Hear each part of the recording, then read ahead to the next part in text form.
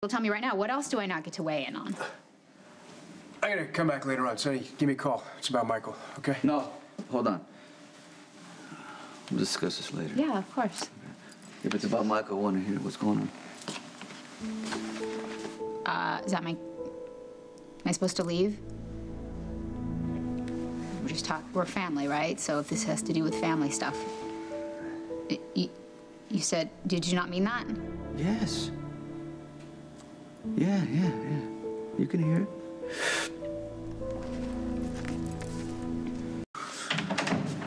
Okay, so, um, you got news on Michael? What's Yeah, yeah, good news, though, for a change. We got a suspect in Brandon Lowe's murder. Okay, so, uh, Abby's off the hook? Yeah, looks like it. I mean, uh, we got a murder weapon, we got a taped confession, enough for the DA to drop the charges against her. What about the hit woman? Did she say she was working for Yeah, you it's looking like that. yeah, right. But, I mean, the important thing is the pressure's off Michael now. Abby's out of the woods. He's not gonna take any chances and get his life back together. Okay, good. So, uh, great. Uh, Thanks for filling me in. Yeah. Yeah. I'll uh, check in later on, but uh, Yeah, in the meantime, you guys be nice to each other. Bye.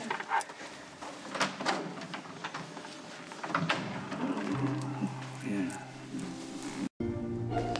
Hey, Hey, thanks for coming. Yeah, it's nice to get a call from my little sister, who's not so little anymore. What are, what are you, going clubbing or something? No, I just decided to change a few things in my wardrobe for college. Hmm. Dad, of course, flipped out. If it were up to him, he'd be dressing me like I'm 12 for the rest of my life, and no dating until I'm at least 30. That's kind of why I called you. Yeah, look, to be honest with you, I'm probably not the best person to go to bat for you on this because by law I have to be a jerk about this kind of stuff because I'm your older brother. I mean, I know you're not 12, but I mean, this is a big step. Well, I'm almost 19. This is how girls my age dress. But at least the ones that know about style, like Maxie. Maxie, so Maxie got you this outfit. She did. I asked for her help, and she was awesome. She hooked me up with a ton of free samples from Crimson. That's very generous of her, but I'm sure you can see why your dad might be concerned. Concerned. I thought he was going to wrap me up in a blanket or something. Look, I I get that part of it's because of last summer when I pretended to date Johnny just to piss Dad off. But this is different, I swear. I have real feelings for Ethan.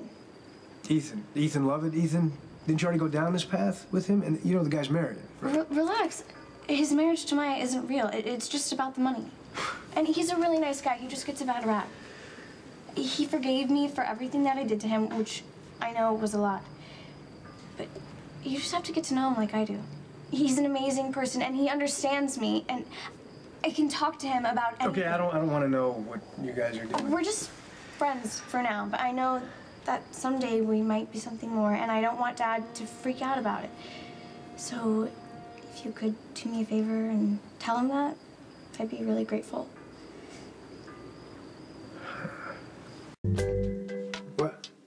What do you mean she's missing? She's the prime suspect in the Lowell homicide. Well, I, who authorized the transfer then? Well, that's amazing. That's amazing. Why don't you call me when you have something to tell me?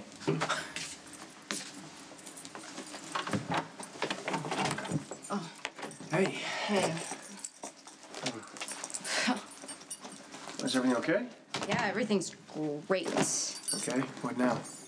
My dad's gone. Gone as in gone where? Gone as in he was at Shadybrook for a total of 15 minutes. He left right after Tracy dropped him off.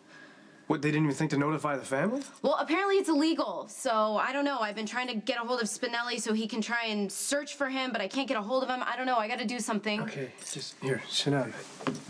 Hmm.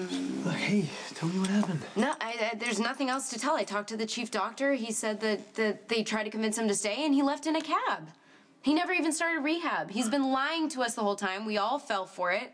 I guess I shouldn't even be surprised because my dad hates goodbyes. Goodbyes? Like, so what, you don't, he's not in Port Charles I, anymore? uh, he's. I don't even think he's in the United States. Where the hell would he go? I don't know, but I gotta find him. She's blessed.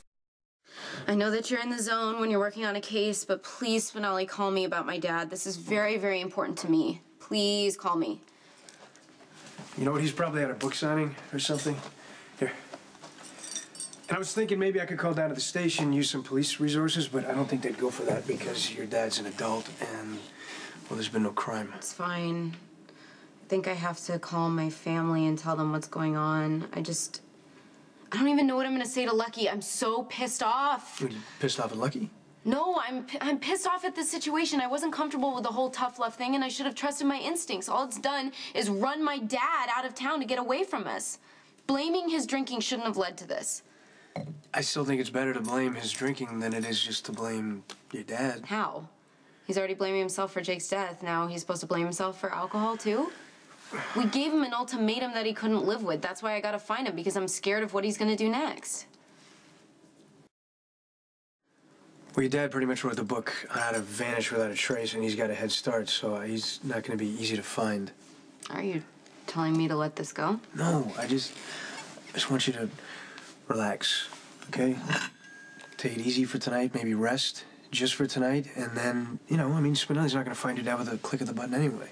Yeah, I'm sure my dad's probably taking a completely different escape route than he normally does. I'm sure he's covering his tracks, but I feel like I gotta find him or he won't come back. All right, let me ask you this. What happens if you do find him and he doesn't want to come back?